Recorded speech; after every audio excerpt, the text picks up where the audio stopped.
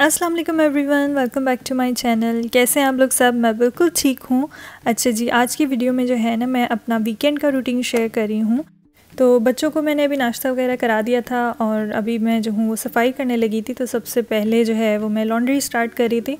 इस दफ़ा का वीकेंड मेरा जो है, काफ़ी ज़्यादा बिज़ी था। सैटरडे को जो है ग्रॉसरी वगैरह करने गए थे हम लोग और सारी चीज़ें लेके मैं आई थी और संडे को जो है, वो सारी प्रिपरेशन वगैरह करके रखी थी। अच्छा सबसे पहले जो है मैं लॉन्ड्री से ही स्टार्ट करती हूँ हमेशा, ताकि कि बाकी काम जब तक करूँगी तो कपड़े वगैरह धुल जाएँगे। अच्छा मैं ना ये करती हूँ कि जो रेगुलर डिटर्जेंट होता है वो तो डालती हूँ, लेकिन साथ में जो है मैंने एक लॉन्ड्री बूस्टर बनाया हुआ है, उससे जो है वो स्टेन भी सारे निकल जाते हैं, और थोड़ी सी जो है वो स्मेल जो आती है ना कपड़ों में वो भी नहीं आती। तो ये इसकी रेसिपी जो है ना वो मैं नेक्स्ट वीडियो में जो है वो ज़रूर शेयर करूँगी। अभी बिल्कुल ही एंड पे है तो जब मैं नया बनाऊँगी तो आपके साथ शेयर करूँगी। अभी जो है बस लॉन्ड्री मैंने स्टार्ट कर दी है, उसके बाद मैं जा रही हूँ किचन में और वहाँ जाके फिर सफ़ाई स्टार्ट करती हूँ।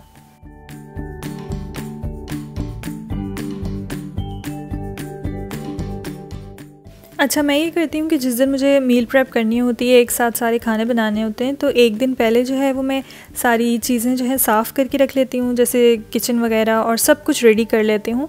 तो आज जो है मैं अपना थोड़ा सा किचन डीप क्लीन भी कर रही हूँ, आपके साथ शेयर करती हूँ, थोड़ी सी आपको ट्रिक्स भी मिल जाएँगी।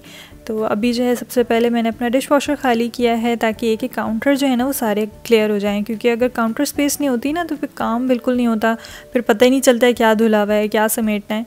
तो पहले मैं सबसे करती हूँ कि सबसे पहले डिश वॉशर खाली करती हूँ और उसके बाद जितने भी बर्तन होते हैं, वो डिश वॉशर में लगा देती हूँ। कुछ बर्तन जैसे होते हैं, वो डिश वॉशर में जो है नहीं डाल सकते, वो सेफ़ नहीं होते तो फिर वो हाथ से धो लेती हूँ, लेकिन ये काफ़ी ज़्यादा बर्तन इसके अंदर आ जाते हैं। और एक से दो दफ़ा दिन में लगा लेती हूँ तो फिर ये है कि बच्चों की वजह से जो भी बर्तन निकलते हैं साथ साथ जो है फिर धुलते जाते हैं।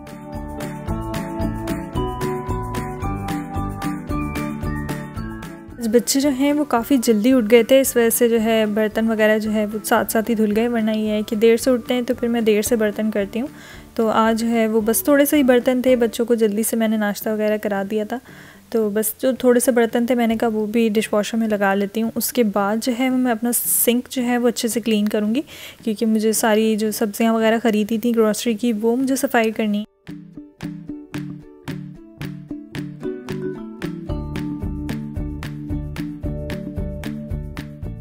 अच्छा बच्चों की जो बॉटल्स वगैरह और बच्चों के जो बर्तन होते हैं ना, वो मैं इस रैक के ऊपर ड्राई करती हूँ। ये इतना अच्छा सा रैक है, इसके अंदर दो जो है लेयर्स लगी हुई है, नीचे एक जो है वो ट्रेस ही है और ऊपर जो है ग्रास सा जो है रैक बनाया हुआ है।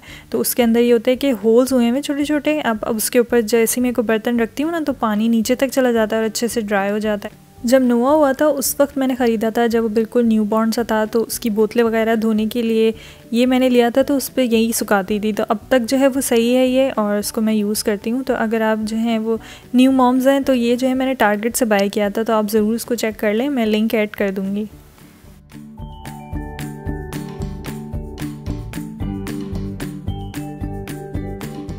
बर्तन जो है वो सारे डिश वॉशर के अंदर चले गए हैं और थोड़ी देर में मैं उसको स्टार्ट कर दूँगी। तब तक जो है वो सिंक जो है मैं अच्छे से साफ़ करी उसके बाद इसके अंदर सारी सब्ज़ियाँ और फ्रूट्स वगैरह धोंगी तो ये मैं बस ये करती हूँ कि बेकिंग सोडा लेती हूँ, उसको सोप के साथ अच्छी तरीके से उसका पेस्ट बना के और पूरे सिंक पर लगा देती हूँ। तो एवरी नाइट या एवरी अदर डे जो है वो मैं यही करती हूँ कि इस तरह से सिंक को साफ़ कर लेती हूँ, उससे काफ़ी ज़रा जो है साफ़ हो जाता है। उसके बाद कोई भी जो है विनेगर या वाटर से जो है अच्छी तरीके से साफ़ कर लेती हूँ। अच्छा इसके अलावा जो है आज मुझे जो है अपना माइक्रोवेव भी अच्छे से डीप क्लीन करना था। तो उसके लिए मैं आपको एक ट्रिक बताती हूँ, अगर जैसे अंदर से काफ़ी गंदा हो जाता है ना तो आपने ये करना है कि एक पानी लेना है एक बॉल में और उसमें लेमन जो है वो स्क्वीज़ करके और छिलके समेत ही उसमें डाल देना है। उसके बाद आपने ये करना है कि माइक्रोवेव के अंदर, अभी देखें कितना ज़्यादा गंदा हो रहा है तो ये मैं जो हूँ बॉल अंदर रख रही हूँ और इसको तकरीबन दो से तीन मिनट के लिए जो है वो मैं इसको चला रही हूँ।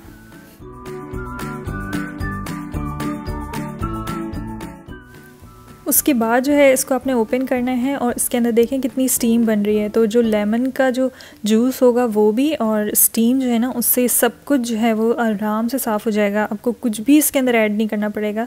बस आपने जो है वो कोई भी माइक्रोफाइबर टॉवल या किचन टॉवल जो होता है, उसको थोड़ा सा गीला करना है और उसके बाद जो है इसको अच्छी तरीके से साफ़ कर लेना है। आपको किसी सोप किसी चीज़ की भी ज़रूरत नहीं होगी। ये ऐसे ही पानी के साथ साफ़ हो जाएगा क्योंकि वो लेमन की वजह से जो है ना, सारा जो ग्रीस और ऑयल लगा हुआ होता है ना, वो सब रिमूव हो जाएगा।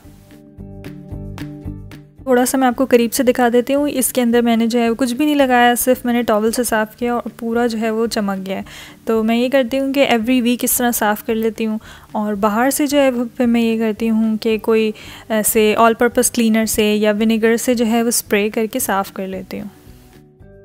अच्छा मील प्रेप करने से पहले ना मैं ये भी करती हूँ कि इस तरह चूल्हों पे जो है फॉइल लगा देती हूँ। इससे आसानी होती है, चूल्हे अगर जैसे गंदे नहीं होते और नीचे जो भी खाना वगैरह गिरता है तो वो इस फॉइल पे ही गिरता है। इस फॉइल को पे मैं वीकली चेंज भी कर लेती हूँ।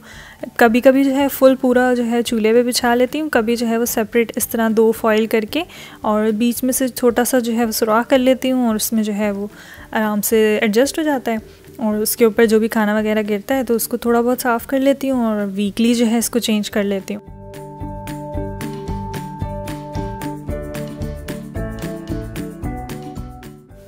वीडियो अभी तक देख रहे हैं तो प्लीज़ मुझे कमेंट्स में ज़रूर बताइएगा कि आपको मेरा कंटेंट कैसा लग रहा है। और अगर वीडियो अच्छी लग रही है तो लाइक और शेयर ज़रूर कीजिएगा।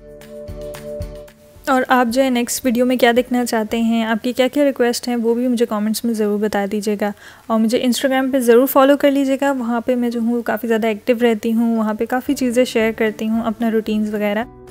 अच्छा ज़्यादातर जो है हम वीकेंड्स पे ग्रॉसरी शॉपिंग करते हैं तो मैं जो हूँ, एक दिन पहले ही सारी ग्रॉसरी लेके आ गई थी। अच्छा कुछ चीज़ें जो हैं हम लोग कॉस्को से बाय करते हैं, जो हमें बल्क में चाहिए होती हैं, या फ्रूट्स और वेजीज़ वगैरह, और कुछ चीज़ें जैसे हलाल चाहिए होती हैं, गोश्त वगैरह, वो जाके किसी देसी स्टोर से बाय कर लेते हैं, या फिर जो है ऐसी सब्ज़ियाँ होती हैं, जो पाकिस्तानी से होती हैं, वो फिर जो है वो देसी स्टोर्स में ही मिलती हैं, और बहुत सारे मसाले वगैरह ना तो वो सब चीज़ें जो है वो फिर देसी स्टोर से बाय कर लेते हैं। और बाकी चीज़ें तो या तो मैं टारगेट से ले लेती हूँ, कुछ चीज़ें जो है कॉस्को से ले लेती हूँ। यहाँ पे बहुत अच्छी अच्छी डील्स मिल जाती हैं, जैसे अब ये ब्रेड है, इसके जो है आप दो ब्रेड लें तो वो एक ब्रेड की प्राइस में मिल जाती तो मैंने जो है सारी ग्रॉसरी वगैरह कर ली थी। अब बस मैं ये कर रही हूँ कि सिंक अच्छे से जो है वो साफ़ हो चुका है। तो मैं जो हूँ सारे फ्रूट्स और वेजीज़ जो है ना, उनको अच्छे से वॉश कर रही हूँ। इस पर मैंने काफ़ी सारी डिटेल वीडियो बनाई थी कि मैं इनको किस तरह वॉश करती हूँ, किस तरह सोप करती हूँ। तो उसका लिंक जो है डिस्क्रिप्शन में मैं ऐड कर दूँगी।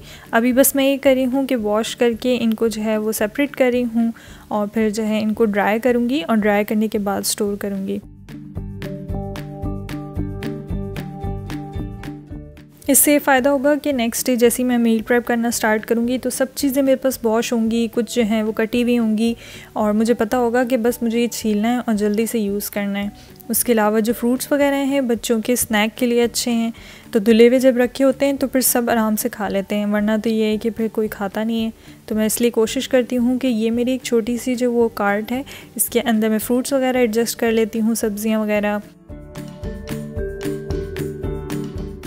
इसके अलावा एक दिन पहले जो है वो सारा फ्रिज वगैरह मैं खाली कर लेती हूँ और जो है जो भी चीज़ें फेंकने वाली होती हैं, उनको फेंक देती हूँ, कुछ साफ़ सफ़ाई करके रख लेती हूँ, उसके बाद जो फ्रूट्स वगैरह हैं जिनको फ्रिज में रखना होता है वो रख लेती हूँ।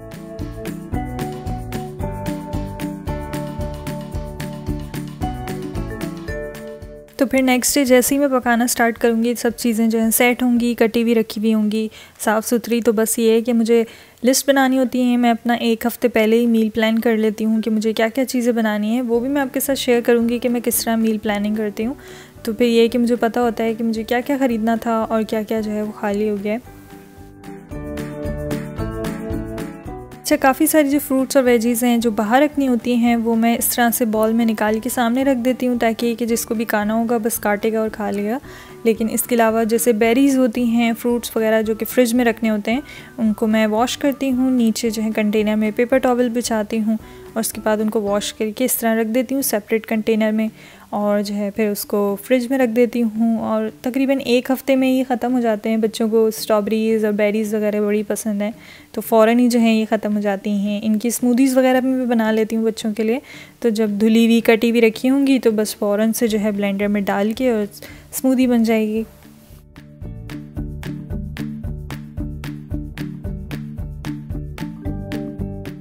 अच्छा जी सफ़ाई सारी हो गई है सब चीज़ें धुल गई हैं। अब जो लास्ट काम मुझे रहता है, वो रीफ़िल करनी है सारी चीज़ें। तो ये मेरा स्पाइस कैबिनेट है, बहुत ज़्यादा स्पाइसेस है मेरे पास तो मैं इसको सेट करके रखती हूँ, इस तरह ऑर्गेनाइज़ करके। तो इस पर भी मैंने वीडियो पूरी फुल बनाई थी कि मैं किस तरह ऑर्गेनाइज़ करती हूँ। तो अभी जो है वो थोड़ा सा जो है वो ख़राब हो गया था और चीज़ें जो हैं सारी खाली हो गई थी, दोबारा से जो है फ़िल करना था। तो जब सारी ग्रॉसरी वगैरह ख़रीदी तो ये भी जो है, सारे मसाले भी ख़रीदे थे। अच्छा कुछ मसाले मैं घर के ही इस्तेमाल करती हूँ, लेकिन कुछ चीज़ें जैसे शान की नेशनल की करती हूँ। तो अभी मैं आपको दिखाती हूँ कि मैं इसको किस तरह रिफ़िल करती हूँ।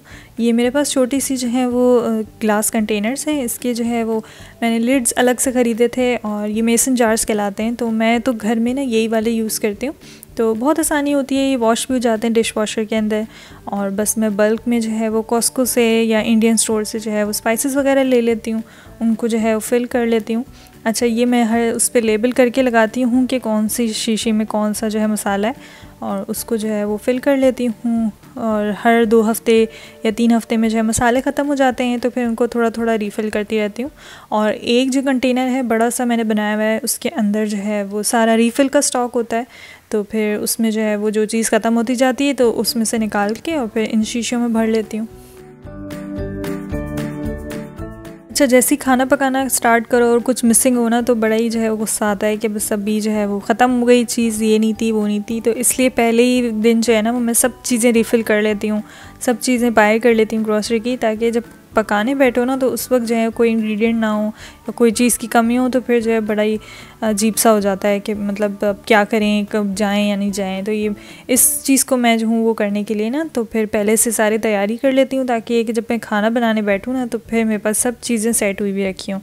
तो अभी बस मैंने सब चीज़ें फ़िल कर ली हैं और उसको जो है मैं वापस रखने लगी हूँ। तो ऊपर वाली जो रॉ है, उसमें सारा गरम मसाले वगैरह रखे हुए मैंने अलग से और नीचे वाले में आपको करीब से दिखाती हूँ। बिल्कुल जो बेसिक मसाले होते हैं, नमक, काली मिर्च, हल्दी, धनिया तो पिसावा जो होता है और वो सब मैं रख देती हूँ ताकि ये है कि मुझे सब चीज़ें सामने नज़र आती रहें। कि मेरे पास स्पाइस ट्रैक है, उसमें ये होता है कि पीछे का भी नज़र आता है और आगे का भी तो उठाने में भी आसानी होती है और फिर मैं इसको लेबल करके इस तरह रख लेती हूँ। मुझे तो घर में हर कोने को जो है इस तरह ऑर्गेनाइज़ करने का बहुत शौक़ है कि मतलब मुझे हर चीज़ सेट चाहिए होती है और हर चीज़ कंटेनर्स में तरीके से रखी होनी चाहिए। तो मुझे बड़ा अच्छा लगता है काम करने में भी, भी बहुत मज़ा आता है फिर।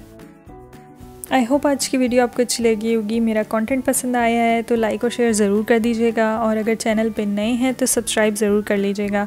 अपना बहुत सारा ख्याल रखिए नई वीडियो में फिर मुलाकात होगी। अल्लाह हाफिज़ टेक केयर बाय